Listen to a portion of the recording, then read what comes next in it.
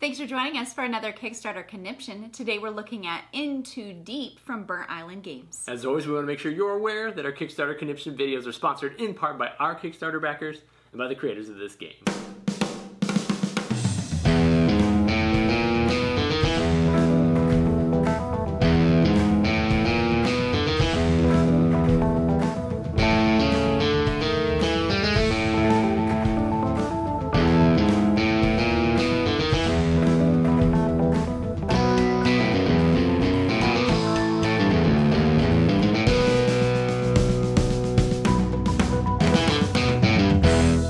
Tantrum House Studio 3. I'm Will Meadows. And I'm Sara Meadows, and today we're looking at In Too Deep from Burnt Island Games. This is from designers Josh Capel and Daryl Chow, and art is by Dominic Mayer. This is a one to four player action selection area influence set collection game. Has all kinds of great mechanics going on. It's on Kickstarter right now, and Burnt Island Games was kind enough to send us a prototype copy to check out. So let's take a look at how it's played. To set up the game, build out the board for New Dawn City, place out the two barricades, and place the Sentinel in downtown. Then, randomly place out the item tokens and criminals around the city.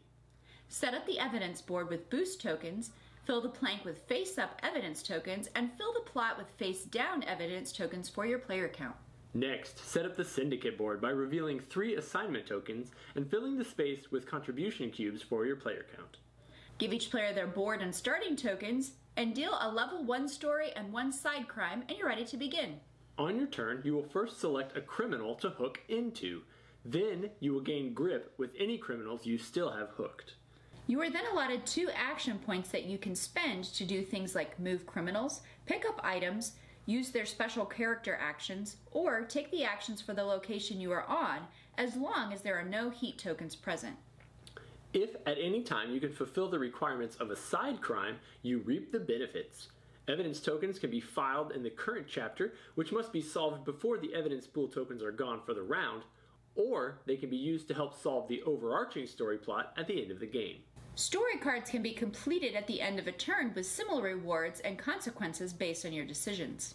Dilemma cards gained throughout the game will give you bonuses for the evidence you've claimed, but they will also gain you corruption. If at the end of the game enough evidence has been collected to take down the syndicate, the player with the most corruption must take negative points for going in too deep. The player with the least corruption will gain a bonus, and then points are tallied, and the player with the most points wins. We actually just finished a live playthrough of In Too Deep, so if you want to see the game in detail, you can check that out on our YouTube channel. In Too Deep is a game where you act as secret agents who are trying to uncover all kinds of different crimes that are going on throughout the city. You will be jacking into criminals' minds where you'll actually take control of them and try to fulfill missions uh, all over the board in all kinds of different ways using all kinds of different strategies uh, in order to ultimately gather enough evidence and solve the crime yeah, each there are three different chapters and each one of those everyone will try need to contribute to them. If you are helpful in contributing to that chapter story then uh, you may gain a bonus if you can complete it if not and you don't complete it as a team then you will anybody who has not contributed will gain a large penalty so there's that going on every chapter there are five different storylines that go with that section of the chapter and to move on to the next chapter in the story, um, you'll have to have completed those first level chapters. So there's a A, B, C, and D. If you haven't completed, say, D, then you can't move on in the D storyline. And then there's that final plot that you will need to gain evidence tokens and try to take down the syndicate. There are also a whole host of side missions that you can take on as you go throughout the game. And just like the main missions, they'll allow you to do things like gain evidence tokens or gain boost tokens, which will help you give you additional actions throughout the game.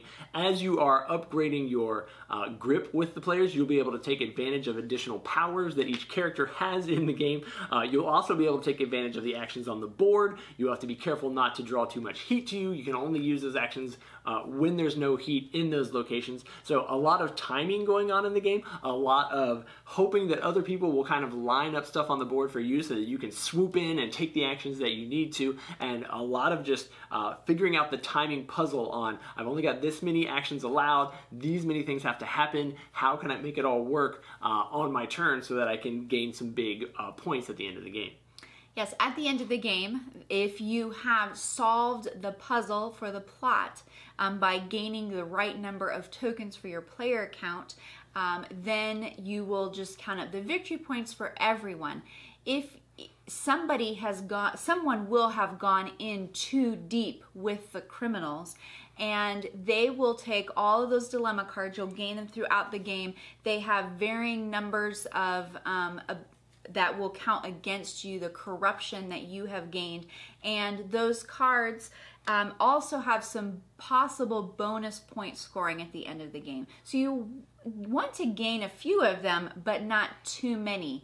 If you have solved the crime and you have gone in too deep, then those cards will be negatively scored against you. And it's very difficult to come back from that penalty. Yeah, they do score you a lot of bonus points. They do score you potentially a lot of corruption. So you've got to really kind of balance how deep do I want to go? How many points do I think I can get? Is do I think the case is going to be solved? Woo! It's a mind trip. Uh, the artwork for the game is really excellent. I love the style of the box and the city. These are obviously prototype components that we're looking at. So the finished version, if it's anything like Burnt Island's other games, I'm sure will be magnificent. So keep an eye on their campaign. See what kind of great great, great stretch goals and things that they have to offer. Uh, Deep, very meaty game, lots to chew on, lots of great decision making. Uh, I think if it's if you if this looks like your type of game, then I'm sure it is.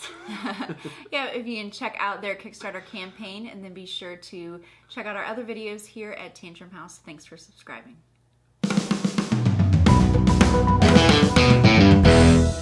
Criminals, beware, or give me lots of points.